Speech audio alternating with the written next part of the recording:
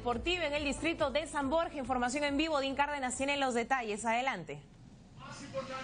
¿Cómo está Pati? Buen día. Este es el paseo El Bosque en el lugar conocido como el Petangonito en el distrito de San Borja. Y efectivamente son miles de corredores deportistas que van a cubrir 10 kilómetros en lo que eh, se ha considerado la carrera NAC 10K están en la calistena previa para esta competencia que más que nada, Pati, amigos televidentes, busca crear conciencia con respecto a cuidar al planeta, a cuidar a la Tierra, a cuidar a los ecosistemas que verdaderamente nos dan cobijo e incluso alimento.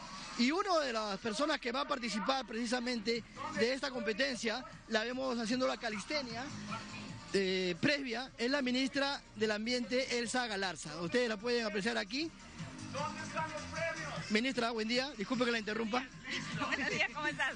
Participando eh, de de esto, del significado de esta competencia principalmente. Sí, importantísimo porque creo que eso tiene que ver con la salud y el bienestar de los ciudadanos y parte de eso es el deporte, el poder hacerlo en un ambiente como este donde hay árboles, hay infraestructura, así que yo creo que ese es un, momento importante para reiterar los compromisos ambientales que tenemos. Ministra, eh, va a haber un proceso de reconstrucción, ya se ha anunciado, incluso mañana se va a explicar en el Congreso, pero este fenómeno llamado el niño costero eh, también influyó la mano del hombre. Sin duda, sin duda, la mano del hombre ha sido, es, es el factor que genera los desastres, porque eventos naturales los hemos tenido siempre y los vamos a tener.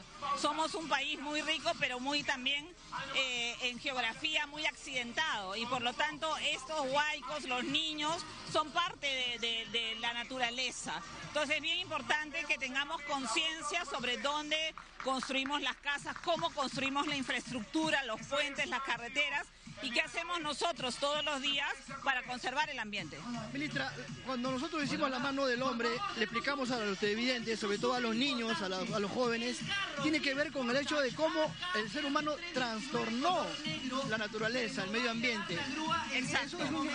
todos nosotros como seres humanos, desde que habitamos el planeta Tierra, lo impactamos de alguna manera. Lo que tenemos que tratar de hacer es que esos impactos sean los menores posibles.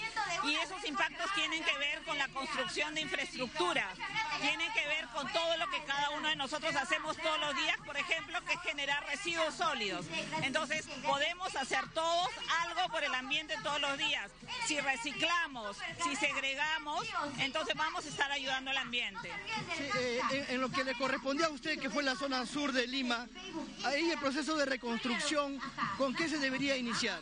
Bueno, ahí la parte más afectada han sido las carreteras, los caminos y también la parte de agricultura de los mismos este, chakras que habían en la parte alta. Entonces creo que la, parte de transitabilidad va a ser lo más importante en esa zona y poder ayudar a los pequeños agricultores a restablecer los canales de regadío y sus propias chacras.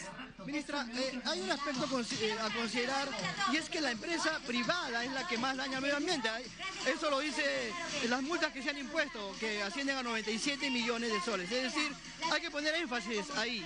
Exactamente, creo que acá hay que trabajar no solamente la parte de conciencia ambiental, sino también la parte de fiscalización, de supervisión y de eh, eh, emitir realmente las multas cuando éstas deben emitirse. En eso vamos a ser bastante enérgicos nosotros, porque creo que debemos también generar incentivos, pero también ser muy fuertes cuando las empresas no cumplen su trabajo.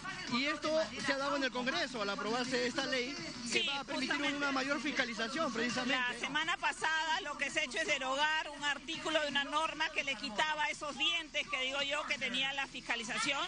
Ahora ya se va a poder restituir las sanciones como corresponden y creo que eso va a ayudar mucho también a seguir ese trabajo permanente de fiscalización ambiental. El mensaje para cuidar a, la Tierra, planeta. Es, el día de ayer se celebró el Día Internacional de la Tierra y estos eventos son muy importantes para generar conciencia. Todos podemos comprometernos en algo para ayudar a tener un ambiente más sano. Así que vamos a correr. Ok, ministra, gracias. La ministra Elsa Galarza se prepara precisamente para esta competencia 10K organizada por Nat Gio. Son 10 kilómetros y que se va a correr de manera simultánea en seis ciudades del mundo como Sao Paulo, Santiago de Chile. Vuelvo contigo, Pati. Gracias, Jin. Aquí en Perú por tercera vez esta carrera, así que hay alegría entre los deportistas en San Borja, también conmemorando el Día de la Tierra, es parte de estas actividades. Pausa ante Perú Noticias, regresamos en breve.